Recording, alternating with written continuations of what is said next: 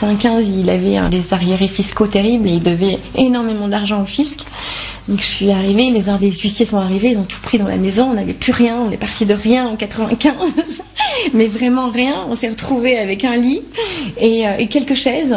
Et euh, ouais, mais c'est l'histoire de sa vie, c'est l'histoire de sa vie. Et là, vous dites quoi? Quand vous voyez ça, il y a un lit, quelques chaises, vous dites quoi? Bah, je me dis, c'est rock'n'roll.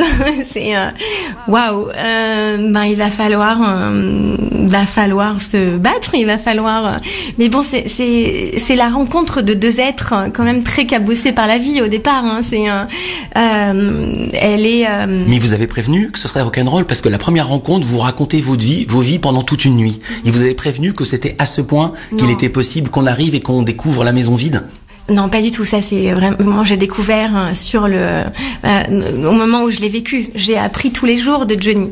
Il y a une interview qui marque l'arrivée de Johnny dans un certain public. C'est l'interview dans Le Monde par Daniel Rondeau. Euh, Johnny fait des révélations très intimes. Il parle de ses tentatives de suicide. Il parle de son addiction à l'alcool, à la drogue, la cocaïne, parfois l'opium. Est-ce que vous étiez dans la confidence de cette interview? Oui, j'étais dans la confidence et il m'en parlait. Euh, quand il rentrait de, des entretiens avec Daniel Rondeau, ça a été une thérapie pour lui. Il a jamais osé en parler de tout ça, mais en parler, c'était euh, pour se réparer. Moment extrêmement émouvant. Il y a des révélations incroyables sur sa fin. Je vais pas tout raconter, mais je voudrais que les gens voient le doc pour saisir l'émotion. Il y a la tournée des vieilles canailles. C'est au-delà de tout. Euh, quand il sortait de scène, on découvre qu'il y avait un médecin qui lui remettait de l'oxygène. Il y avait comme un hôpital de campagne Comment vous avez vécu ce moment-là? Vous disiez, euh, je risque de pas le revoir demain. Comment c'était? Quelle était l'ambiance? Parce que sur scène, tout était joyeux et on n'imaginait absolument pas la coulisse. On peut pas imaginer euh, ce qu'on vivait en coulisses.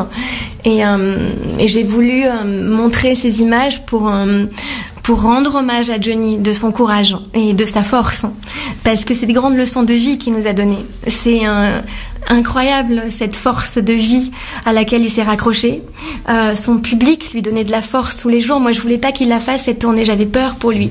J'avais peur pour sa vie. J'avais peur pour sa santé. J'ai et je voulais pas qu'il la fasse. Et euh, il m'a il m'a dit cette phrase hein, qui m'a beaucoup marqué et euh, que je raconte dans le documentaire, c'est que euh, si je je, je on l'empêchait de faire cette tournée, c'est qu'il était déjà mort.